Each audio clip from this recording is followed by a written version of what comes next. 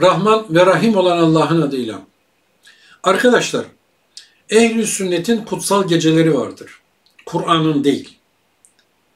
Bir takım dinlerin de mutlaka kutsal günleri ve geceleri icat edilmiştir. Allah'a göre her günün aynı olması gerekirken bazı insanlar bazı günleri kutsallaştırır. İşte bunlardan en basiti Mevlid kandili.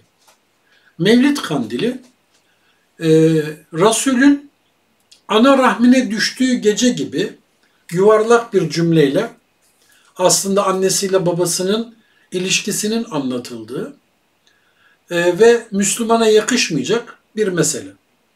Fakat 1410 yılında Çelebi Mehmet tarafından yazılan bu kaside şu anda günümüzde tartışmaya bile insanların cesaret edemediği bir konuma geldi.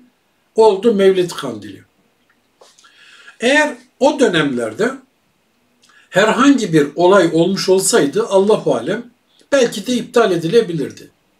Ama tasavvuf ekolüyle ehli sünnetin mücadelesini tasavvuf ekolünün kazandığının ispatıdır. Ne demek ana rahmine düştüğü gece? Kim nasıl tespit etti?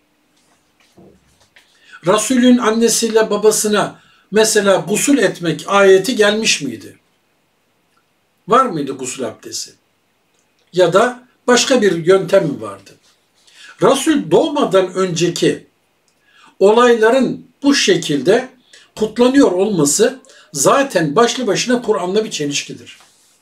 Kur'an'da bakın dikkat edin Kadir gecesinin bile günü belli değildir. Kadrini kıymetini bildiğiniz gecedir. İşte bir senede en önemli ay Ramazan ayıdır. Ramazan ayında en güzel tarafı son 10 gündür. Son 10 gününde en kıymetli günü Cuma akşamıdır. Mışmışlarla karar verilmiş ve neticede kutlanılmaya başlanmış. İtiraz eden de aforoz ediliyor maalesef.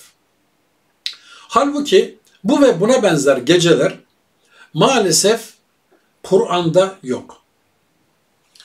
Eğer siz kadrini kıymetini bildiğiniz bir geceyi arıyorsanız bunu 3 milyar birden kutlamasına gerek yok. Sizin tövbe ettiğiniz, yeni bir karar aldığınız gece kadrini kıymetini bildiğiniz gecedir. Bu da herhangi bir gece olabilir. Yeter ki siz tövbe edin. Kesin bir dönüş yapın. İşte o sizin Kadir gecenizdir. Ekseri ulema diye başlayan cümlelerin arkasında gizli olan bir Kasım ulema unutulur. Ekseri ulema böyle düşünmüş.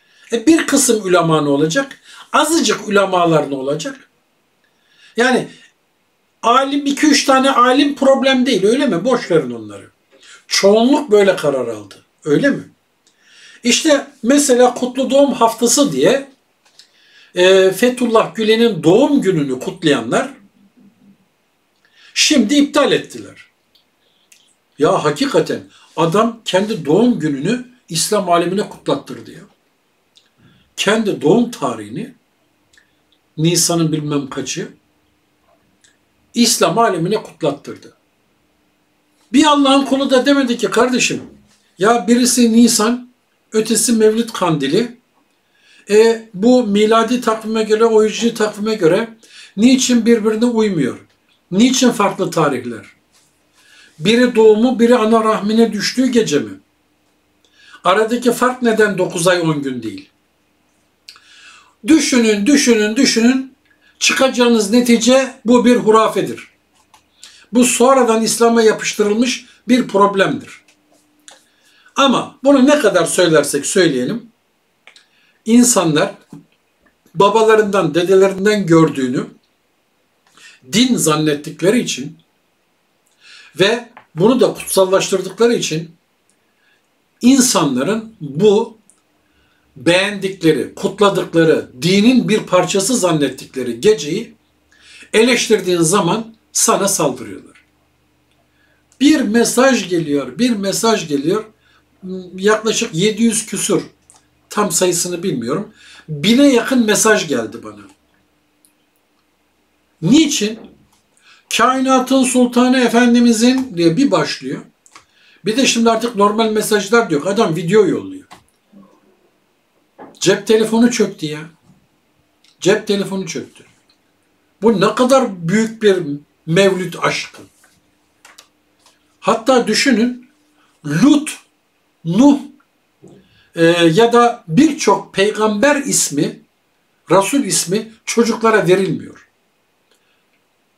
Mesela Şit yok, Lut yok.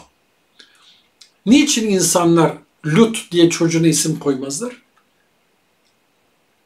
Livata meselesiyle bağdaştırdıkları için. Çok ilginçtir. Peygamber, Resul isimlerini çocuğuna koyamayanlar Mevlid ismini mutlaka çocuklarına koyarlar. Etrafınıza bakın bir sürü mevlüt var. Mevlüt abi, Mevlüt amca, Mevlüt evladım. Niye? Örf. Örf. Öyle bir şey olmuş ki insanlar çocuklar da isim yapmışlar. Şimdi sen sıkıysa Mevlüt'ü eleştir. Sen şimdi Mevlüt amcaya ne demek istiyorsun? İş oraya gelecek. E Keziban koyarken bana mı sordu? Sen Keziban koy, yalancı deyince ben e, kötü adam olayım öyle mi? Şimdi Ehl-i Sünnet'in hocalarından birinin e, şey fazla konuyu uzatmadan videoya gelelim. Kantar'ın topuzunu nasıl kaçırdığını, Kur'an'a nasıl ilave ettiğini, nasıl mantık hatası yaptığını ve nasıl iftira attığını hep beraber göreceğiz. Ama benim sizden istediğim sadece bunu görmeyin. Bunun gibi olanların tümünde bu hata var. Lütfen bunu anlayın. Mesela Allah ayeti kerimede tartınıza dikkat edin diyor ya. E ben metreyle satıyorum bana ne demeyin. Tartınıza dikkat edin demek ticaretinize dikkat edin demektir. Neyle satarsan sat. Şu anda sen çek mi yazıyorsun? Çeki yazdığın tarihe dikkat et. Bilmem anlatabiliyor muyum?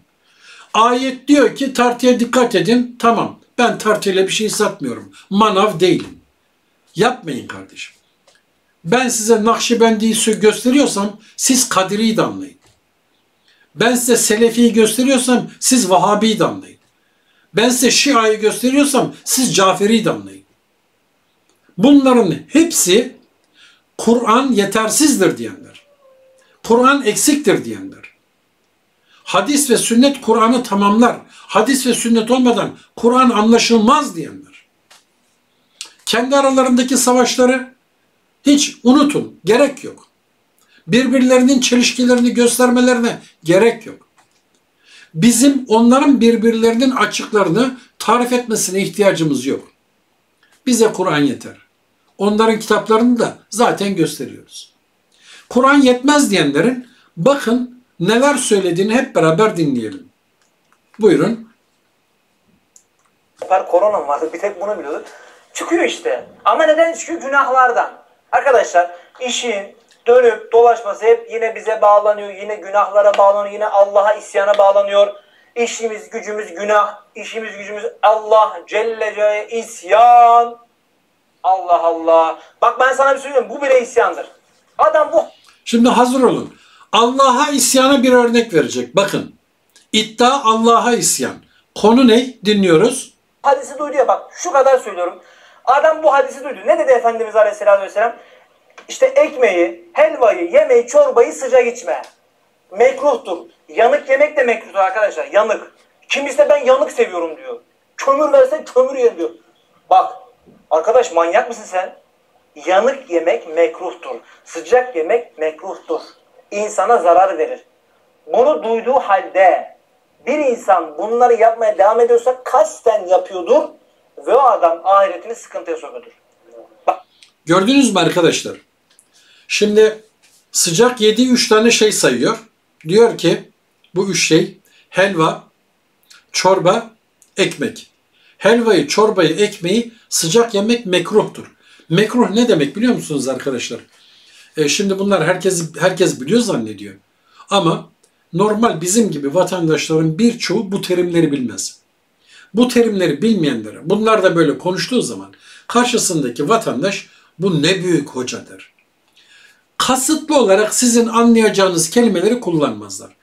Neden? İki sebebi var. Bir, herkesi kendileri gibi biliyor zannediyorlar. Bu da cahilliğin zirvesidir. İkincisi, bunları kasıtlı olarak kullanıyorlar ki karşı taraf bunların büyük bir adam olduğunu zannetsin. Mekruh demek harama yakın demek. Harama yakın. Haram değil ama harama az kaldı. Hani midye mekruh derler ya. İyi bir Müslüman bunlara göre mekruhtan da uzak durur. Mekruh haram gibidir bunlara göre. Fakat direkt haram diyemiyorlar, mekruh diyorlar. Şimdi neymiş arkadaşlar? Anlayalım. Ekmek, helva ve e, çorbayı sıcak içmek ve yanık yemek mekruhmuş. E aklı başında insan zaten yanık yemez. Sen mekruh demesen millet kömür mü yiyecek?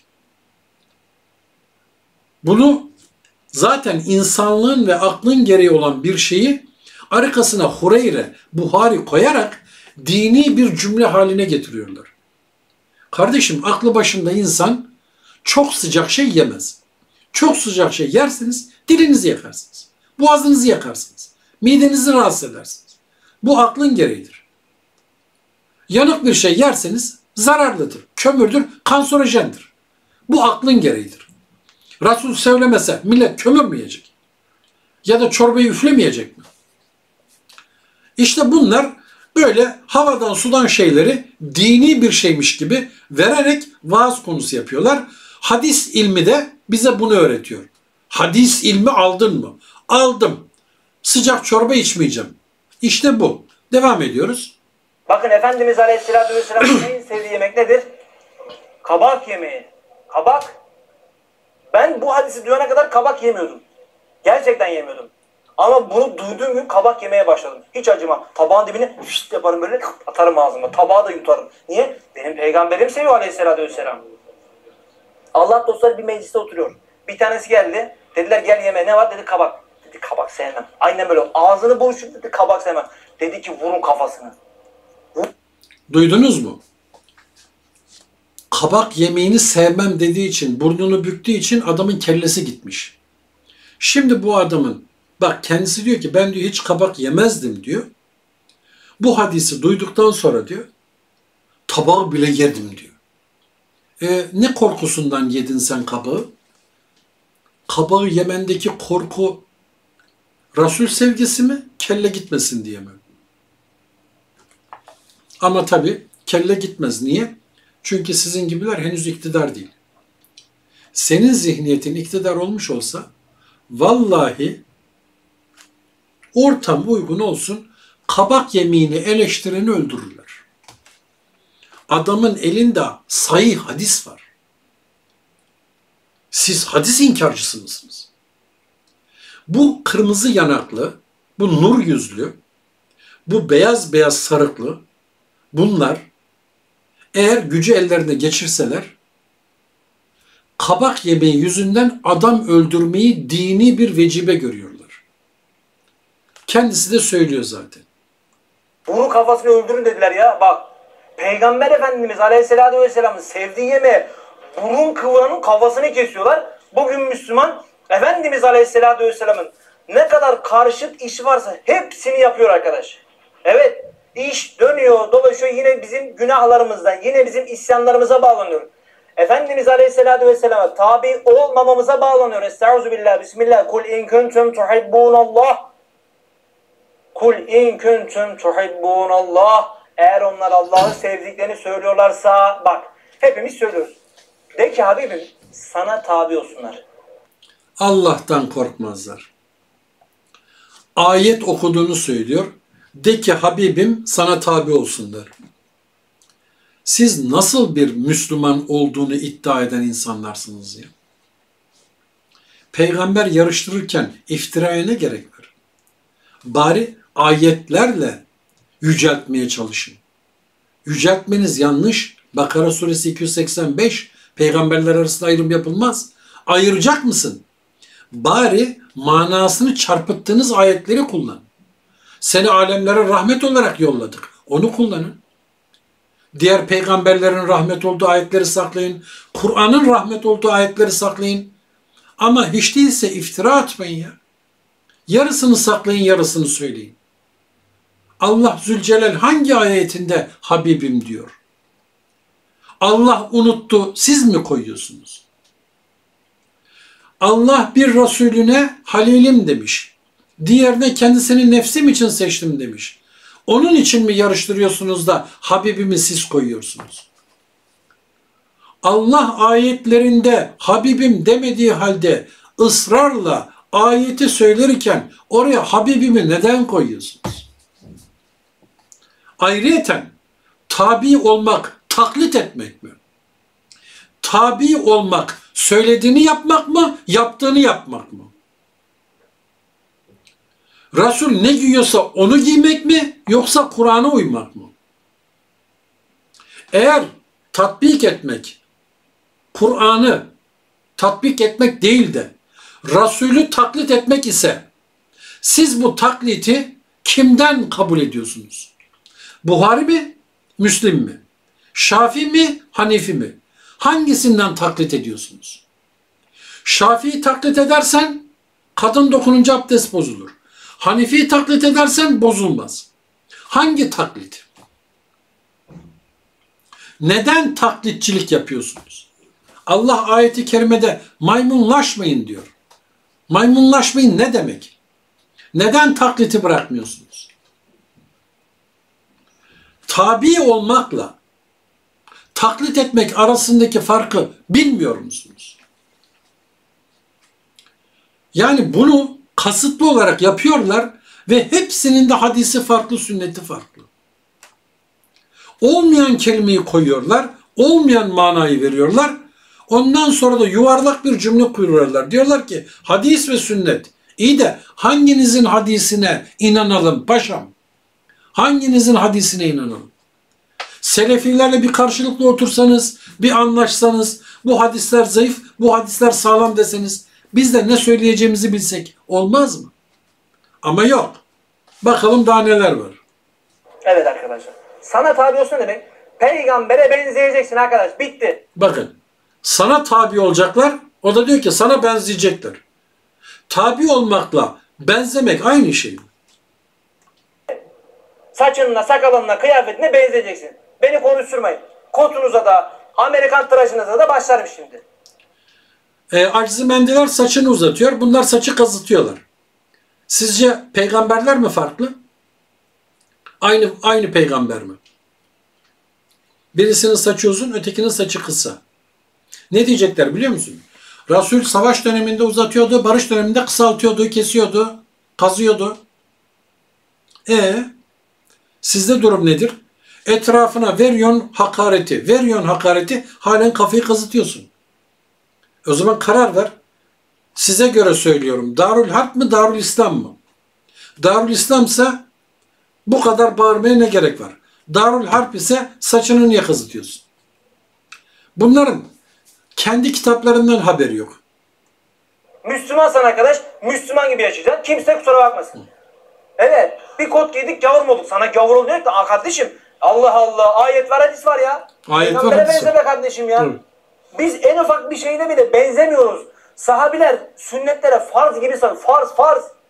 Ya bak Efendimiz Aleyhisselatü Vesselam Arkadaşlar sahabeler sünnete farz gibi sarılırmış. Peki bunların kitaplarında ne yazıyor biliyor musunuz? Bakın. Önce Kur'an'dan söyleyelim. Allah ayeti kerimede Resulü ayakta bırakıp mescitte terk edip gidenlerden bahsediyor. Resulü ayakta bırakıyorlar hutbede. Yine başka bir ayette savaşta dönüp kaçanlar var. Bu da ayet. Başka bir ayette o münafıkları sen tanıyamazsın diyor Allah Resulüne. Bunların hepsi sahabe. Şimdi gelelim kendi kitaplarına. Kendi kitaplarından sahabeler. Mesela kendileri anlatırlar. Uhud harbinde savaşından önce nasıl savaşalım diye icma yapılıyor. Toplantı yapılıyor ve Müslüman sahabeler meydan savaşı istiyorlar. Resul savunma savaşını tavsiye ediyor. Resul, Resul. Hani sünneti farz diye uygularlarmış ya. Sahabe kabul etmiyor. Meydan savaşı istiyor. Resul de tamam siz bilirsiniz diyor. Sonra tekrar geliyorlar diyorlar ki ey Allah'ın Resulü biz yanlış karar almışız. Savunma savaşı yapalım. Resul onlara ne diyor hatırlayın. Bir Resul zırhını giydikten sonra geri çıkartmaz. Kendi kitapları. Başka örnekler yok mu? Bir gün sahabe geliyor ey Allah'ın Resulü ağacı aşı yapacağız. Dik aşı mı yapalım, yan aşı mı yapalım? Resul de diyor ki yan aşı yapın. Sahabe tekrar soruyor. Ey Allah'ın Resulü bu vahiy mi sen mi söylüyorsun? Hayır vahiy değil kendi tercihim diyor. Sahabe tersini yapıyor. Kendi kitapları. Duvar örme meselesi. Duvar örülüyor. Duvar örülürken Resul'e soruyorlar nasıl örelim diye. Resul'ün tavsiye ettiği sistemi yapmıyorlar.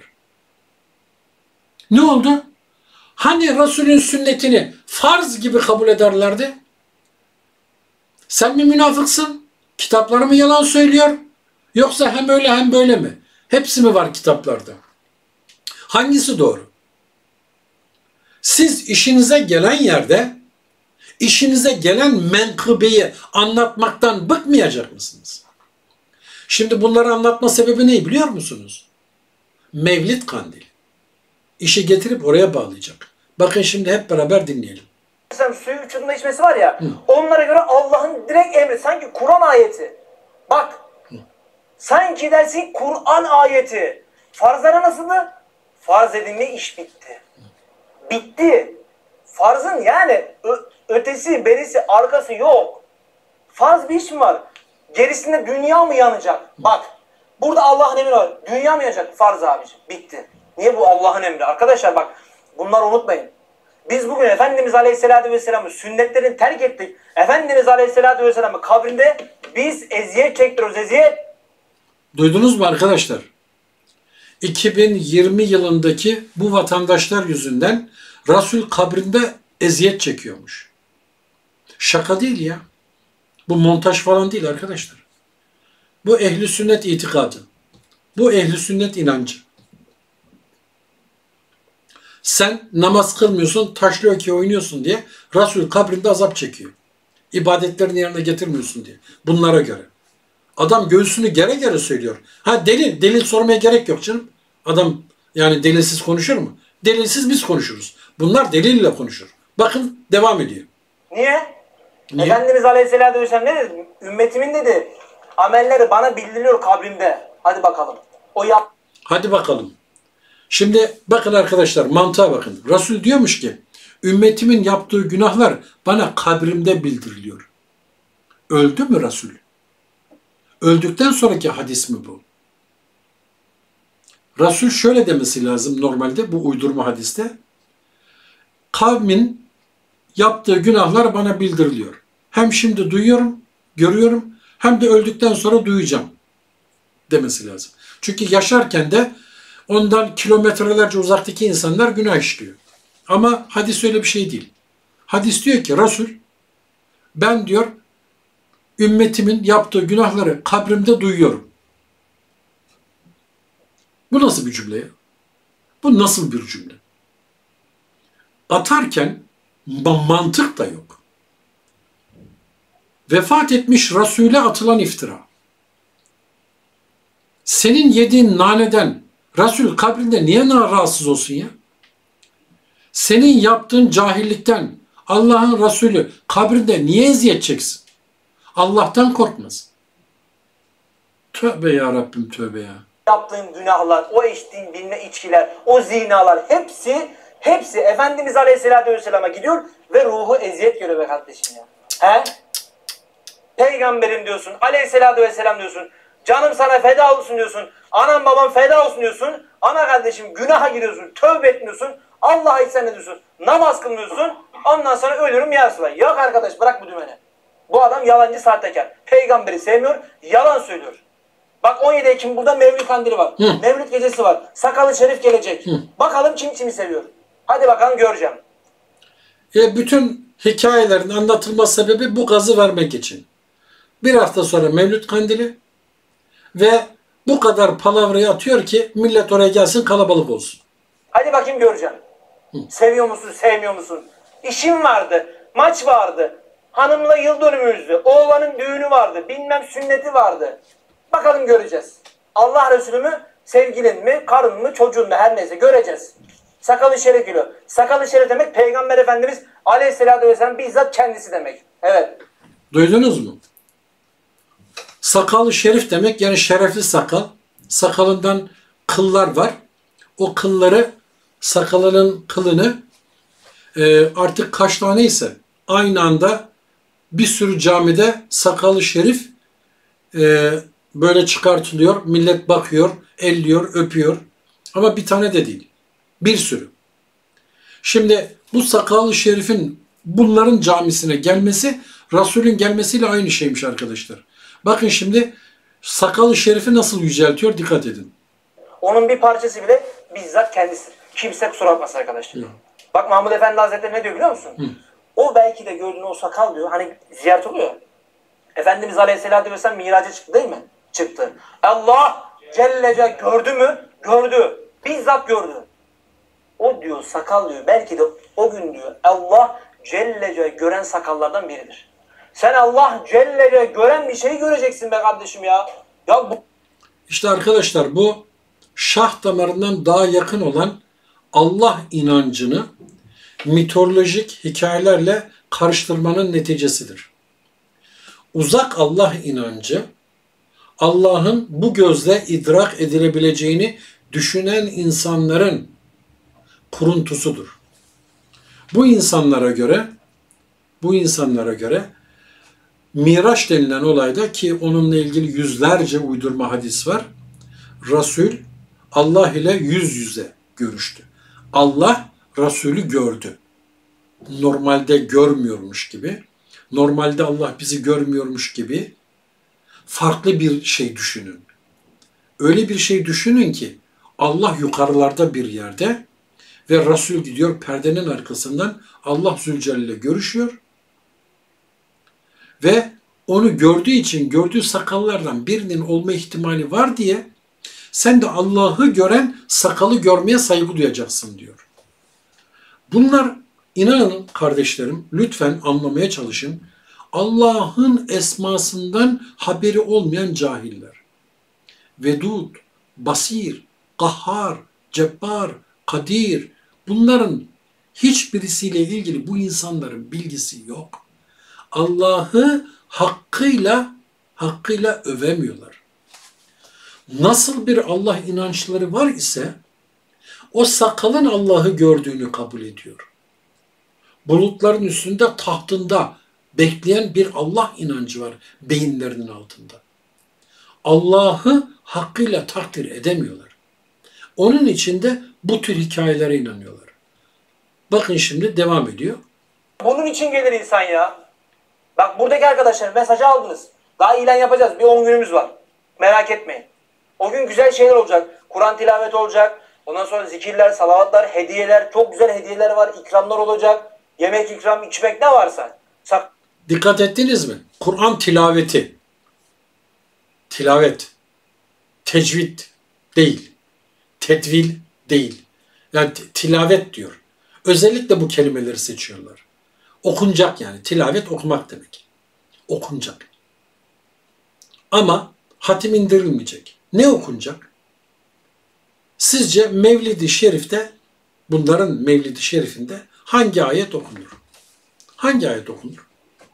Bakalım bekleyelim görelim. sakalı şerif en önemlisi sakalı şerif. En önemlisi o. En önemlisi. Ya arkadaş yani bu bir, acayip bir iştir. He, haftaya cuma gelemeyecek olan ya da salı gelemeyecek olan varsa o gün mümkün olduğunca beyaz kıyafetlerle gelin. Efendimiz Aleyhisselatü Vesselam beyazı severdi. Beyaz giyinirdi. O gün mümkün oldukça beyaz giyinin. Satanistler gibi simsiyah gelmeyin arkadaşlar. Evet kimse Şimdi siyaha ne dedi? Satanistler gibi siyahla gelmeyin. Tabii şu anda e, benim takipçilerim e, düşünmeyi hakikaten hakkıyla beceren yüzlerce arkadaşım var. Yorumlardan anlıyorum bunu. Hemen yakaladınız değil mi? Beyaz giyin, satanistler gibi siyah giymeyin. Bunu diyen bu cemaatin ablaları, anneleri, bacıları komple siyah. Kabe'de siyah. İşin ilginç tarafı Resulü siyah sancakla beklerler. Siyah sancak. Resul siyah sancakla gelecek. Sancak siyah, Kabe siyah. Hacerül Esved, Karataş. O da siyah. Ablalarımız, annelerimiz, bacılarımız siyah. Millete kurduğu cümleye bak. Satanistler gibi simsiyah gelmeyin. Çok sarmaz. Maşallah bizim kapalı tribün de komple siyah giymiş. Neyse hadi. Bugünlük bir şey olmaz da. E, Bugünlük bir şey olmaz. Bugün acımam vallahi. Evet. Kimse Bugün bir şey olmaz, o gün acımam. Nasıl bir mantık? Çünkü o gün özel bir gün, Allah'ın günü. Bugün başkalarının günü. sormasın. Ağırlık beyaz olsun yoksa yeşil. Yeşille yani cırtlak yeşille gelmeyin buraya. Normal sünnet olan yeşil artık neyse. Onu ayarlayın inşallah. Ee, arkadaşlar hadislerde kırmızı ve siyah giymenin yasak olduğu ile ilgili hadisler var. Komple sarı giyinmek, komple kırmızı giyinmek hadislerde yasaklanmıştır. Renk ayrımı da var. Yani renge göre e, inancın tespit ediliyor. Elbisenin rengine göre düşünün. İnşallah. Anladık mı arkadaşlar? Hani ekmekten helvadan nereye geldik? Bak dert ne? Konuşuran Allah Celle Celaluhu. Ya Ya son cümlesi tam skandal. Diyor ki ekmekten helvadan nereye geldik? Ben anlatayım nereye geldiğini kardeşim. Önce ekmek, helva ve çorbanın sıcak içilmeyeceğini Resulün sünnetine dayadım. Sonra oradan kabak yenin kafası kesilir dedin, kesmeye dayadın. Sonra kafanın kesilmesinden geldin sakala. Sonra sakalı peygamber yaptın, Resul yaptın. Sonra Resul devam ediyor ya, kabrinde azap çekti. Senin gibi adamlar günah işlediği için. Ruhu azap çekti. Ondan sonra Mevlid-i Şerif'e yemek yemeye çağırdın. Yemek yedikten sonra da bitirdik. Çok şükür elhamdülillah. Arkadaşlar, düşünüp akledenler için lütfen videolarımı bu gördüğünüz şahısların videolarının altına linkini atın. Belki bir kardeşimiz dinler de Kur'an'da nerede adam öldürüleceğini merak eder bakar. Kur'an'a göre iki yerde adam öldürebilirsiniz. Biri öldüren öldürülür yani kısas. İkincisi savaş meydanı. Bu ikisinin haricinde adam öldürülmez. Fakat bu dine zam yapan tarikatçılara, cemaatlere gelirseniz bunların adam öldürme listesi herhangi bir anayasaya sığmaz. Yazmışlar. Zaten kafir, mürtet öldürülür dediği zaman liste kopup gidiyor. Çünkü adamlarda kafir listesinin ucu bucağı yok. Şunu yaparsan kafirsin, bunu yaparsan kafirsin. Kafir de mürtettir. Onun da katli vaciptir. Dinden dönen öldürülür. Sebepsiz yere namaz kılmayan öldürülür. Fitne ölümden beterdir. Büyüyünce fitne çıkaracaksa bebek öldürülür. Hatırladınız değil mi? Şehzadelerin katledilmesi için bu insanların buldukları çözümdür. Fitne ölümden beterdir. O zaman bu çocuk büyüyünce fitne olacak. Biz büyümeden boğalım. E niye boğuyorsun? Müslüman Müslümanın kanını akıtmaz. Ya da uykudayken öldürelim. Arkadaşlar bu insanların 5 dakikalık videosunda 55 tane problem görebilirsiniz. Yeter ki temiz kalpli olun. Temiz akıl sahipleri anlar. Hakikati, gerçeği temiz akıl sahipleri anlar. Bu kadar basit. Siz de lütfen abone olmayanlar abone olsun. Sizin abone olduğunuzu gören dostlarınız da bu nedir diye merak edip bakıp belki inşallah bir şeylere vesile olurlar. Onlar ve sizler yorumları yazın. Ben yorumları okuyorum. Hatalarım varsa bu yorumlardan düzeltiyorum. Takip edenler bilir. Yazıyor adam. Bakıyorum adam hakikaten haklı. Ben de düzeltiyorum. Tavsiyeleri dikkate alıyorum. Bir kardeşimiz mesela video başlıklarına cübbesiz Mahmut yazma. Direkt yaz gerek yok dedi. Baktım hakikaten gerek yok. Adam haklı. Teşekkür ederim. Bilmem anlatabiliyorum. Selam ve dua ile. Allah'a emanet olun.